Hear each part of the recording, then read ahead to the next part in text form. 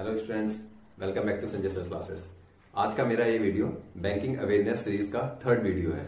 आपने पहले दो वीडियो देख ही लिए होंगे. अगर आपने अभी तक वो नहीं देखे हैं तो उन दोनों वीडियोस का लिंक मैं इस वीडियो के डिस्क्रिप्शन बॉक्स में डाल दूँगा. ठीक है? उम्मीद है आपके लिए ये वीडियो काफ़ी हेल्पफुल साबित हो रहे होंगे. आप इस वीडियो को लाइक शेयर करना ना भूलें.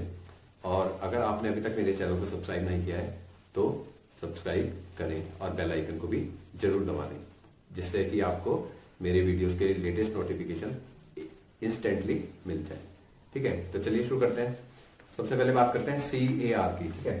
सी ए आर कुछ एब्रीविएशन है। ठीक है ना? बहुत ज़्यादा एब्रीविएशन बैंक में पूछ लिए जाते हैं। तो C A R C A are को सी आर ए आर भी कभी कभी पूछ लेते हैं। ठीक है ना? बात एक ही होती है। इसका मतलब है कैपिटल एडिक्वेसी रेशियो ठीक है ना? और जब सी आर ए आर आता है तो इसका मतलब होता है कि capital to risk asset ratio ठीक है ना? Capital to risk asset ratio ठीक है ना?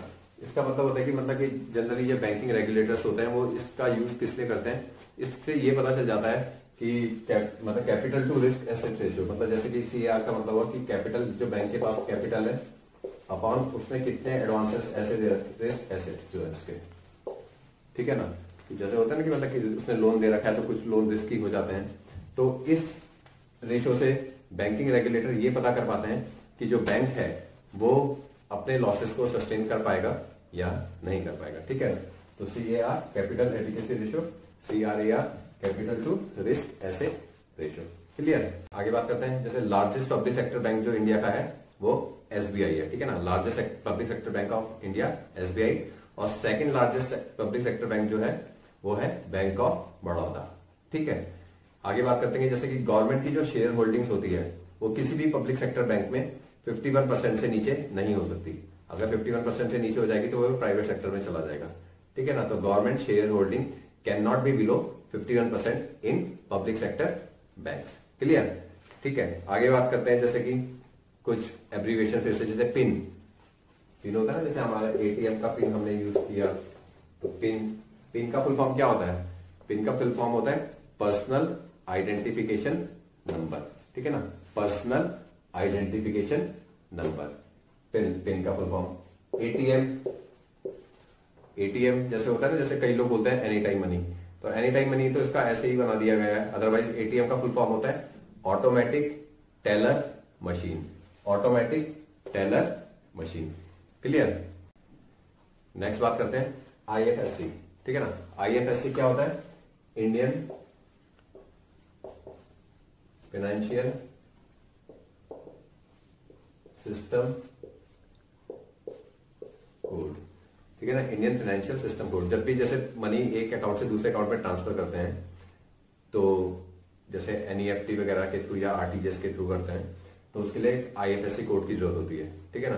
तो आईएफएससी जो कोड होता है, ये 11 लेटर 11 इसमें लेटर्स होता है मतलब अल्फ़ा न्यूमरिक कोड है ये। Alpha numeric code of 11 characters ठीक है ना? 11 कैरेक्टर्स होते हैं जो कि अल्फ़ा न्यूमरिक होते हैं मतलब कुछ अल्फाबेट्स होते हैं और बाकी कुछ नंबर्स होते हैं, ठीक है ना?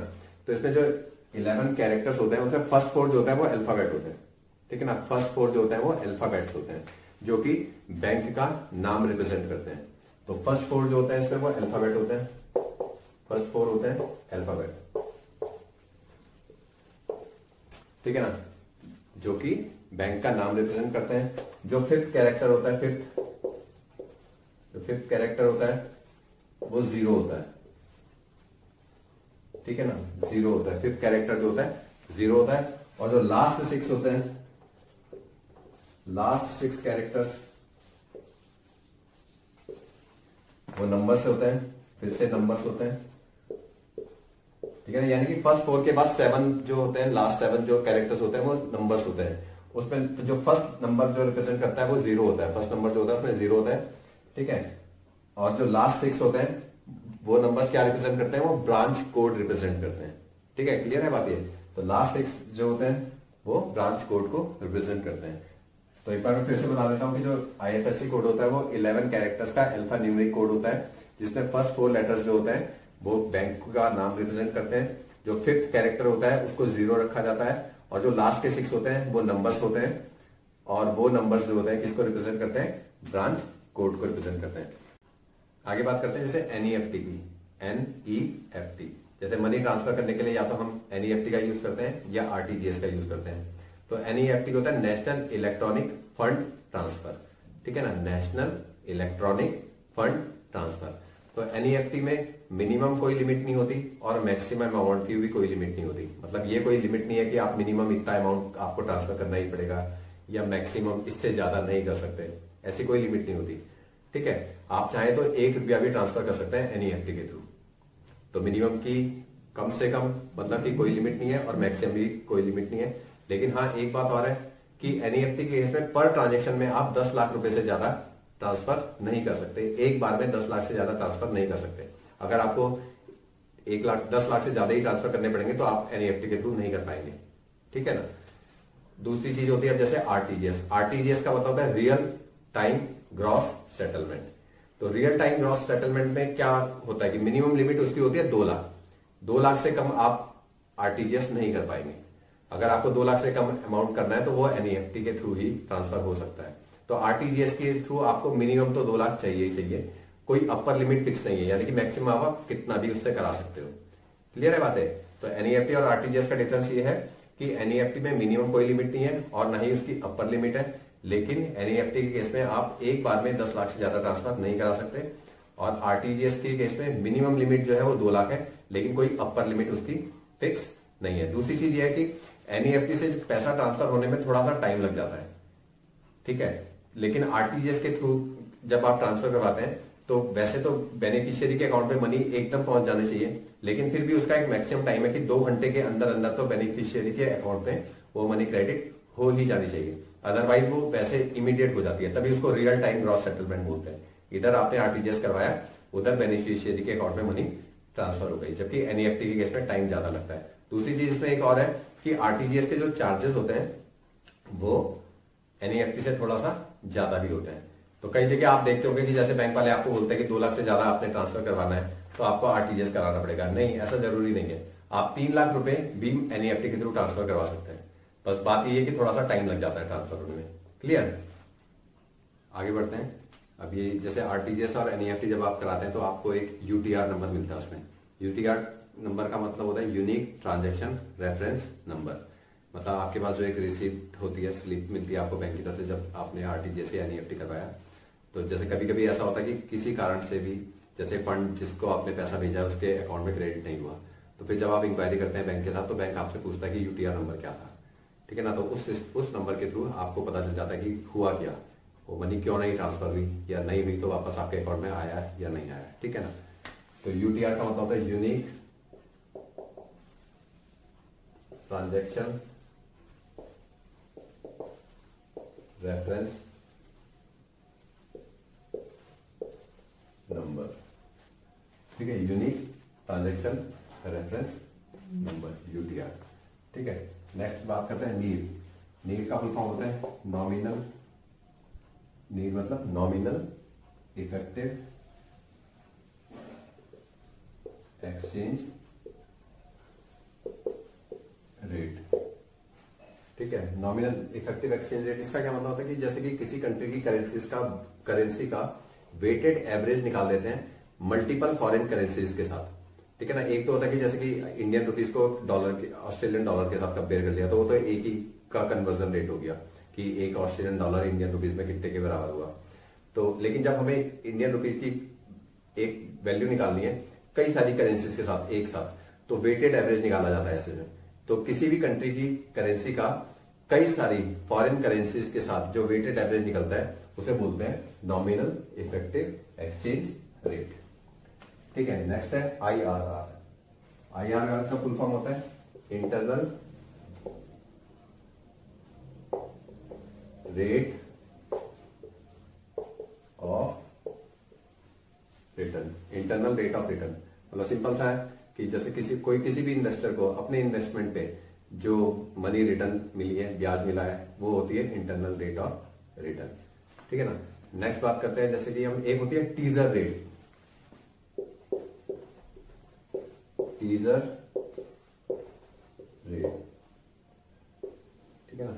टीजर रेट जैसे कि टीजर रेट एक्चुअल में क्या होती है कि जैसे कि अभी भी कोई बैंक क्या करते हैं कि एक इंट्रोडक्टरी पीरियड के लिए रेट ऑफ़ इंटरेस्ट को अपने, जैसे एडवर्टाइजमेंट होता है ना एडवर्टाइजमेंट इस तरीके से किया जाता है कि जैसे कस्टमर ज़्यादा से ज़्यादा अट्रैक्ट हो किसी भी चीज़ प्रोडक्ट के लिए। तो बैंक क्या करते हैं कि ऐसे कहते हैं ना teaser loan teaser loan announce करते हैं। जैसे कि टीजर लोन जैसे कि एक होम लोन है। उन्होंने अनाउंस किया कि इसकी इनिशियल स्टेज में मतलब टीजर रेट में क्या होता है कि इनिशियल स्टेट में जो होती है स्टेज में लोन का जो रेट ऑफ़ इंटरेस्ट होता है वो कम होता है, लेकिन बाद में धीरे धीरे वो वो रेट ऑफ़ इंटरेस्ट बढ़ जाता है। तो टीजर रेट जो होती है वो एप्लीकेबल होती है सिर्फ़ शॉर्ट टर्म शॉर्ट टर्म के लिए। तो इसमें बैंक क्या करते हैं कि एक अनाउंस कर देते हैं कि इस रेट पे आपको लोन मिल रहा है। तो लेकिन वो शॉर्ट टर्म के लिए ही होता है, पूरे टाइम के लिए जनरली वो ऐसा नहीं होता। तो इनिशियल स्टेज में आपको कम रेट ऑफ़ इंटरेस्ट पे लोन मिल जाता है, लेकिन बाद की स्टेज में जब टाइम लंबा होता है तो फिर आपको ज़्यादा रेट ऑफ़ इंटरेस्ट चार्ज कर, करता है बैंक आपसे, ठीक है? नेक्स्ट है हमारे पास आईआरडीए इडा आईआरडीए मतलब जो नेशनल ये जो इंश्योरेंस कंपनीज़ होती हैं, उनको जो रेगुलेट करती है बॉडी उसे बोलते हैं आईआरडीए इंश्योरेंस रेगुलेटरी ठीक है इंश्योरेंस रेगुलेटरी डेवलपमेंट अथॉरिटी ठीक है? Insurance regulatory development authority insurance companies को जो जो बॉडी इंडिया में और वो रेगुलेट करती है, उसे बोलते हैं आईआरडीए ठीक है ना? इसका जो हेडक्वार्टर है, वो हैदराबाद में है। याद रखना बात। हेडक्वार्टर ऑफ़ एडा जो है वो कहाँ पे है? हैदराबाद। पूछ लेते हैं कई बार कि एडा का हेडक्वार्टर कहाँ पर है? तो हैदराबाद में। एल एल ए का फुल फॉर्म होता है liquid adjustment facility liquid adjustment facility ये एलएफ क्या होता है? ये फैसिलिटी इससे क्या फ़ायदा होता है कि जो आरबीआई जो है मॉनेटरी पॉलिसी में इस चीज़ को यूज़ करता है। मतलब सिर्फ़ इस लिक्विड एडजस्टमेंट फैसिलिटी जो आरबीआई ये देता है मॉनेटरी पॉलिसी में, इसी के थ्रू बैंक को जब पैसे की ज़रूरत पड़ती है तो वो आरबीआई से लोन ले लेते हैं थ्रू रेपो रेपो मैंने आपको बताया था अपने पहले वीडियो में। और जब उनके पास एक्सेस हो जाता है तो वो आरबीआई में जमा करा देते हैं पैसा थ्रू रिवर्स रेपो ठीक है ना? तो ये लिक्विड एडजस्टमेंट फैसिलिटी के कारण ही ऐसा संभव हो पाता है कि बैंक जो है आरबीआई से लोन लेते हैं या अपनी एक्सेस मनी को आरबीआई में डिपॉजिट कर देते हैं। ठीक है? नेक्स्ट है पैन। पैन नंबर होता है, जैसे आपने अपना पैन कार्ड बनाया तो वो क्या होता है? परमानेंट अकाउंट नंबर ठीक है ना? पैन का फुल फॉर्म होता है परमानेंट अकाउंट नंबर पैन जो होता है टेन कैरेक्टर्स का अल्फ़ा न्यूमरिक कोड होता है। ठीक है ना? टेन कैरेक्टर्स का अल्फ़ा न्यूमरिक कोड ठीक है? अल्फ़ा न्यूमरिक कोड ठीक है ना? अल्फ़ा न्यूमरिक कोड मतलब कि कुछ अल्फाबेट्स होंगे और कुछ नंबर होंगे। इसमें जो होता है ना फ़र्स्ट फोर जो होते हैं फ़र्स्ट फोर कैरेक्टर्स जो होते हैं, वो होते हैं अल्फाबेट्स ठीक है? फिर नेक्स्ट फाइव जो होते हैं, वो होते हैं नंबर्स और जो लास्ट होता है टेंथ वो होता है अल्फ़ाबेट ठीक है? तो पेन क्या होता है? परमानेंट अकाउंट नंबर जो कि टेन टेन कैरेक्टर्स का अल्फ़ा न्यूमरिक कोड होता है, जिसमें first four letter first five letters first five first five जो होते हैं, वो अल्फाबेट्स होते हैं, और नेक्स्ट फोर नंबर्स होते हैं. ठीक है ना? क्लियर कर लेते हैं? फ़र्स्ट फाइव जो होते हैं, वो अल्फाबेट्स होते हैं, और नेक्स्ट फोर नंबर्स होते हैं, और लास्ट जो होता है, वो फिर से अल्फ़ाबेट होता है। ठीक है? आगे बढ़ते हैं। आगे है CASA C A S A bank की लैंग्वेज कासा बोलते हैं C S A C S A मतलब करंट अकाउंट सेविंग अकाउंट ये क्या होता है कि ये कासा का मतलब होता है कि deposit in current account and saving account divided by total deposit ठीक है ना? दैट मीन की ratio ratio of deposit and deposit in current and saving account to its total deposit ठीक है ना, ऐसे लिख कासा का मतलब होता है करंट अकाउंट सेविंग अकाउंट ठीक है ना, इसका जो मतलब होता है, ये होता है रेशियो होता है। Deposit in current account plus saving account to to bank's total deposit ठीक है ना, कासा। नेक्स्ट आता है हमारे पास बी आई एफ़ आर अब देखो B I F R B I F R का फुल फॉर्म हमारे पास होता है board for industrial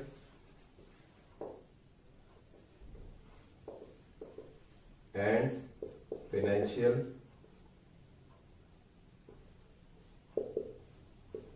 reconstruction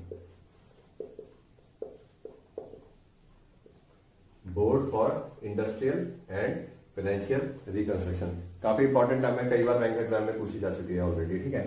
आगे हमारे पास I F R S I F R S ठीक है ना? आई एफ़ आर एस का फुल फॉर्म होता है इंटरनेशनल फाइनेंशियल रिपोर्टिंग स्टैंडर्ड्स ठीक है? I F R S international financial reporting standards next है हमारे पास F R B M F R B M का फुल फॉर्म होता है physical responsibility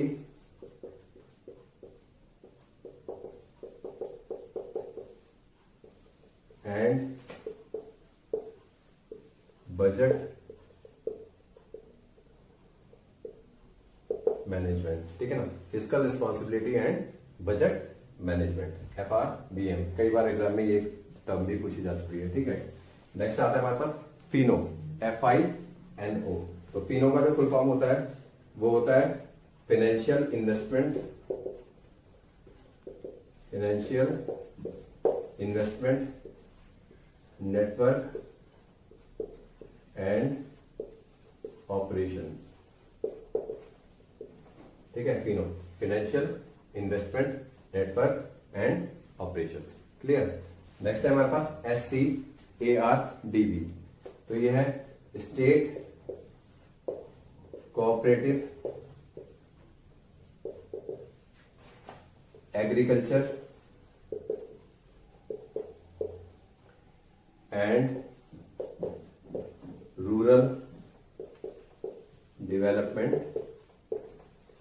bank ठीक है ना? S C A R D B state cooperative agriculture and rural development clear आगे बात करते हैं सीबीएस देखते हैं जैसे कि बैंकिंग सिस्टम सारा का सारा सीबीएस है. कहते हैं हमारी ब्रांच सीबीएस ब्रांच है सीबीएस ब्रांच तो सीबीएस का फुल फॉर्म होता है core banking solution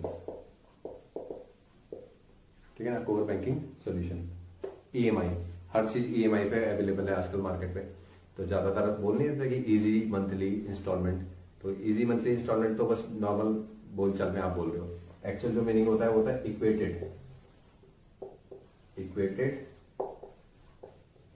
monthly instalment ठीक है ना? इक्वेटेड मंथली इंस्टॉलमेंट नेक्स्ट है जीडीआर जीडीआर होता है ग्लोबल डिपॉजिटरी रेसिप्ट ठीक है ना? ग्लोबल डिपॉजिटरी रिसिप्ट ठीक है ना? तो आज के वीडियो में हम केवल इतनी ही बात करेंगे। उम्मीद है ये वीडियो आपके लिए काफ़ी हेल्पफुल होगा। एक बार आप इनको ज़रूर से लर्न कर लेना, क्योंकि एग्ज़ाम में एब्रीवेशन बहुत पूछे जाते हैं बैंकिंग से रिलेटेड ठीक है ना? इस वीडियो को लाइक और शेयर ज़रूर करें और ढंग से पढ़ें। अभी मैं दो तीन वीडियो बैंकिंग अवेयरनेस के आपके लिए और बना के ले आऊँगा। और एक बार मैं फिर से बोल देता हूँ कि जिन्होंने अभी पहले वाले वीडियोस नहीं देखे हैं बैंकिंग अवेयरनेस से रिलेटेड तो इस वीडियो के डिस्क्रिप्शन बॉक्स में मैं उन दोनों वीडियोस का लिंक डाल दूँगा। ठीक है ना? आपने अगर अभी तक चैनल सब्सक्राइब नहीं किया तो चैनल को सब्सक्राइब ज़रूर करें और बेल आइकन को भी दबा दें। जल्द ही एक अगले वीडियो में मिलते हैं। तब तक अपना ख्याल रखिए और पढ़ते रहिए।